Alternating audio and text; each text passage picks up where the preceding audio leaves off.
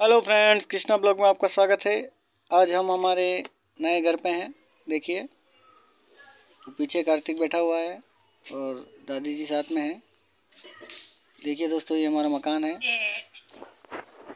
वो दादी जी के पास में खेल रहा है, वो कार्तिक की मम्मी बैठी है उधर।